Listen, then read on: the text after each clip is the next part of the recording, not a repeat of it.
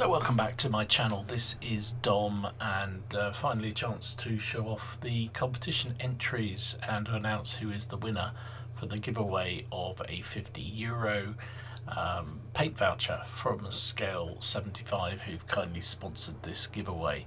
Um, so just to recap, basically I asked uh, anybody who wanted to um, to send in pictures of before and after of a paint uh, project. Um, basically had about a month to do it. Um, had a, a, smallish number of entries, but some very nice ones in there. And the whole idea was basically to encourage every style of painter. So I didn't just want the pro painters, I wanted people who just were fresh picking up the brush or those who weren't terribly confident picking up the brush to have a go at it. Um, send me a picture of what it looked like raw. So that um, basically so I knew that it was something you'd painted in that time period rather than uh, something you'd had on the shelf for months and months and months. Um, and obviously the after picture. And uh, at the end of I've well I'm going to show off everybody's entries um, and just take a chance to have a look at those entries and see what people think.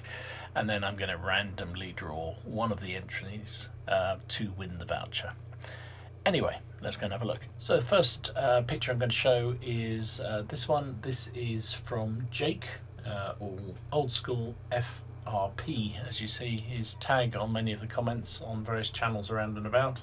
Um, this is his uh, modern Soviet infantry or assault group with their vehicle. Um, 1980s Soviets. Um, it's from the assault group company uh, or they are from the assault group company. He said the actually the armored personnel carrier is a 3D print. Looks a very nice 3D print. Now he mentions it, I can just about see the the sort of uh, filaments on it, but it's very well done, really well done. Um, he basically said it was a, a, a five-part model rescaled to 1 to 56. A lot of work gone into that. Um, he scratch built the um, LMG because uh, the barrel broke on the original one. Uh, it's really nicely done and experimented with uh, army painters polyurethane based shade for the first time. So really nice job and a nice first entry. Thanks very much. So this entry is from Chris uh, Richards. Um, it is actually a 54 mil uh, old historics old guard officer um, I think he's done a really nice job with this. You see some wonderful tones around the uh, the colours. The face looks brilliant, particularly. I always struggle with faces myself, so good to see that that job. So thank you very much indeed for sending that one in, Chris. Much appreciated. So this is the infamous Beckus. Um, Paul Beckus sent this one in. This is his uh, Camel Corps, Anzac Camel Corps in 28mm from Eureka Miniatures. Uh, he just when he sent them in, he just finished them. I know he did a little video, I think, talking about these. Uh, really, really good. Love the character of them. Particularly love that guy in the centre there. Um, sort of looks like he's going tally ho. He's got his rifle up, and some of the other guys look um, behind him on the right there. On yeah, on his right, looks a little less nerve, a little less uh, in control of his camel. Uh, fantastic models, really nice to see. Thanks, Beckus, for sending that in. So I didn't say it was a, a, a picture taking competition, so apologies for the quality of this one. Um, Matt uh, sent this in. Um, he's uh, been working on these 10 millimeter Russians by uh, Pendraken. Really nice figures, and he said it makes a real change from doing 28 millimeter War of the Roses and 6 millimeter ACW. Um, like that, I love those bushes on those bases. I think they look really, really cool. Really good job. So he sent me a few pictures. I have to say this was the best, clearest one of the lot.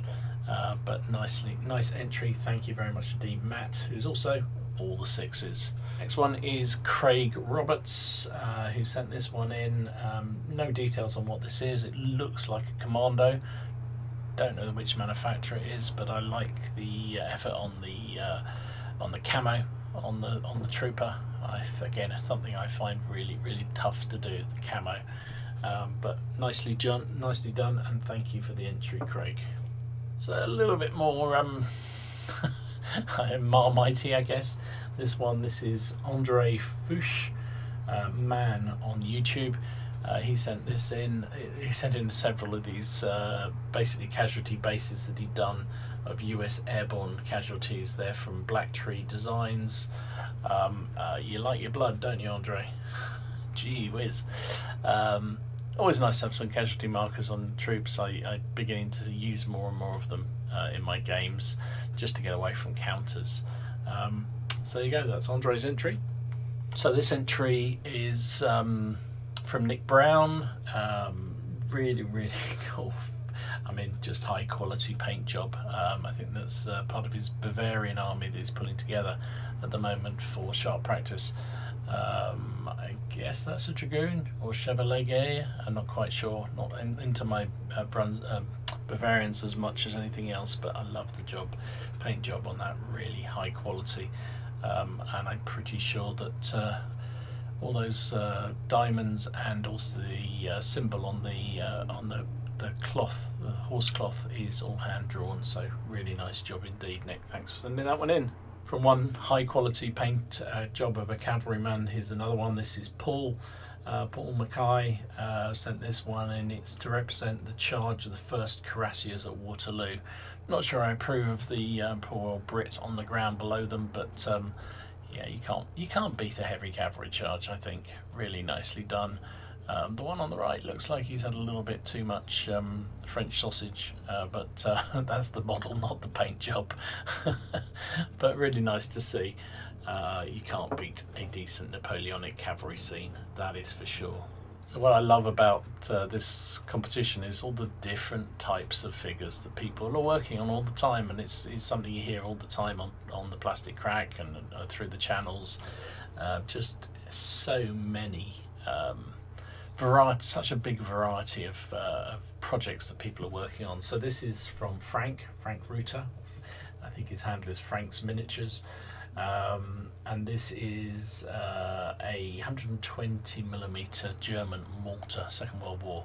Um, it's a Dendra 6268, uh, which I think, I don't know what scale it is. Is it 148th? Something like that. Looks like it could be. Um, I love the the officer there looking at his uh, his watch, ready to signal when the barrage is due to start, um, and the guy on the right has already got his his ears covered just in case for the explosion that's uh, about to happen from that thing. Nice nice job. So this is Tim's entry. He sent this in. It's um, uh, V&V miniatures via our uh, plastic crack uh, sponsor, Mezers Mini. Uh, this is an Anglo-Saxon resin model. Um, he used Vallejo and contrast paints to do it, um, and it's come out quite nicely, really quite nicely. Um, good job there, Tim. Thanks for sending that one in. So I think this is the final entry. Entry. This is David Sims or Simmons. Sorry. Um, this is his flight of um, ME 109Es for uh, the Blood Red Skies game. Uh, beautiful job. I really like these. They're so well done. Um, I mean, they're, they're such small models to get that sort of hot quality paint job on them is very, very impressive indeed. So, absolutely delighted with that one. Thank you very much indeed. So that was all the entries. So I guess now we need to do the draw. So I'll come back and we'll do that live. Well, live as I'm doing it, not as you're seeing it. How about that? Back in a minute. Okay, so we had uh, 11 entries into this competition uh, or this giveaway and um, I have uh, basically found this uh, random wheel picker, random number wheel picker, uh, which you put in different numbers in. So I put in 11 on here, um, and we'll basically go in the order we just showed. So whoever, whoever's, um, whatever number comes up to corresponds to the orders we've just shown, will win that voucher. So let's spin, spin, spin.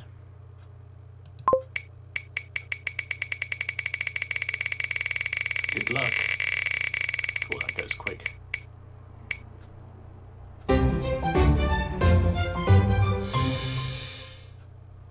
So the lucky number is number eight. Number eight. Well done, number eight. So that is number eight is Paul Mackay, um, who's sent in these lovely cuirassiers. Uh, much as I disapprove of the uh, Englishman on the ground, um, he was picked by that random picker. So congratulations, Paul. I will send you an email um, saying uh, you are the winner and um, putting you in touch with uh, Scale 75. In fact, I'll probably give Scale 75 your details um, and get them to send you the voucher. However, we'll work it. We'll work a way of doing it, whichever way around it is. We'll get make sure you get that voucher. But thank you everyone else who entered. Much much appreciated. Thank you for doing it. Um, hopefully encouraged a few of you to get painting. Um, for those of you who didn't enter, why not? Why not? You could have earned, you could have got 50 euros worth of paint vouchers. Anyway, thanks for those who did enter, and well done once again to Paul. And uh, thanks for watching this video. I will see you again soon. This is Dom signing out. So thanks for watching. Hope you enjoyed the video. If you did, please give it a like. And even if you didn't, hit the dislike, but please just explain why. Um, be, it's really difficult to know when you get a dislike whether it, what what the reason is. Um, maybe they just hate me, but maybe it's because you didn't like the subject. But it'd just be helpful to know. Um, hit that subscribe button, hit that notification button so you see when I put stuff up. Um, and if you're feeling if you're feeling particularly generous, um, there's um, a Patreon page linked to the to the channel, which helps me out um, when I'm trying to do stuff for the future, and also a link to some um, uh, merchandise like uh, t-shirts and so forth that uh, you might be interested in. So, thanks for watching once again. Stay safe, stay well, and I'll see you again soon. This is Dom signing out.